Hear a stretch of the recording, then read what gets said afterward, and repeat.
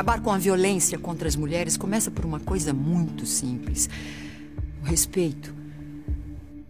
Eu respeito o seu corpo. Respeite o meu também. Tudo começa pelo respeito.